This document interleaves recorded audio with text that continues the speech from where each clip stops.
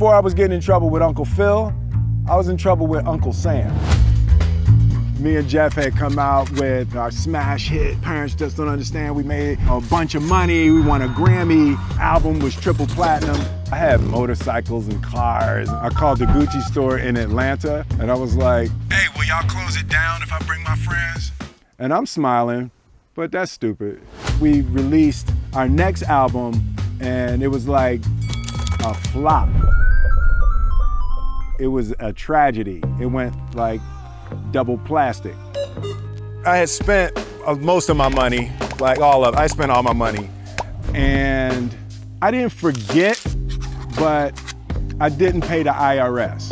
In my mind, I mean, I wasn't like trying to avoid paying taxes. I was just like, oh damn, they need their money. The IRS took all took all that stuff. So I was like, broke, broke, broke. Being famous and broke is a shitty combination because you're still famous and people recognize you, but they recognize you while you sitting next to them on the bus. And the stuff they ask you to sign on a bus, you know, like, oh, can you sign my baby? That's a Sharpie. I, I probably shouldn't just write on the baby with that. Oh, you too big to sign my baby. Well, no, I mean, you know, so I signed it. So I was like laying around and my girlfriend was like, dude, we're not doing this. Like, you're not just gonna be laying around this house all day. You gonna go do something. And I was like, what? What I'm supposed to do? Go where people is is doing it. where people doing it? Go to the Arsenio Hall show. Just go stand around at the Arsenio Hall show. Yes. That's stupid. So I went to the Arsenio Hall show and I met a dude named Benny Medina. Benny Medina is the real life Fresh Prince of Bel Air, except he actually went from Watts to Beverly Hills. Same basic concept, way shorter distance. I meet Benny and he pitches me the idea for this show and I'm like, you know, I'm, I'm not an actor. I'm like, cool. And he says, hey, you know, I want you to meet Quincy Jones. Quincy Jones is producing with me.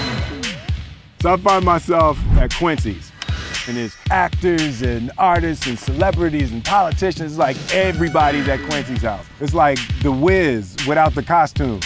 So Benny walks me in and introduced me to Quincy. And like, hey Q, what's up, man? He's like, hey man, you know, I saw your music videos. I love, I love what you're doing. I love what you're doing. Tell me your rap name again. They call me the Fresh Prince. All right, good. That's what we're gonna call the show.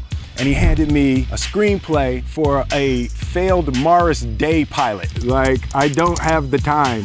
So I need you to do this. I need you to go ahead, take a few minutes, take 10 minutes, study the script, and I'm gonna clear all the stuff out the living room, and we're gonna have everybody sit down in the living room. We're gonna do an audition. He had movers that could reset his furniture. I was like, this dude is real. So goes out, tells everybody, come on, come on, come on. And I was like, hey, Q, hold up, man, hold up. I'm not ready to do no audition. And he said, oh, all right, all right. Uh, well, what you need? Tell me what you need. Just set the meeting for a week and I could do it. He said, yeah, yeah, you know, Brandon Tartikoff, the head of NBC, is out there. I'll get him the schedule for next week. And then you know what's gonna happen? Something gonna come up and then he's gonna have to reschedule. Oh yeah, yeah. So three, so three weeks from now, Q, we can do it three weeks from now. I said, yeah, yeah, yeah. Three weeks from now, be good. Or you could take 10 minutes right now, and you can change your life forever. I was like, it then. Yes, give me 10 minutes. I said yes, and I let it rip. And I got to the end, and everybody is clapping. Quincy looks at Brandon Tartikoff, the head of NBC. Did you like it? And Brandon said, yeah, yeah, I liked it. Quincy He says, no, did you like it? And he's like, yeah, I liked it. He's like, good, you're his lawyer. Draw me up something right now. Damn, Quincy ordering other people lawyers around. like, that's his lawyer, Quincy, leave that man alone. And Quincy turned to me and he was like, hey, Will, you got a lawyer? Quincy, I'm broke. If I had a lawyer taking 5%, he'd owe me money right now. He was like, all right. And he turned to his assistant. He was like, get Will a lawyer.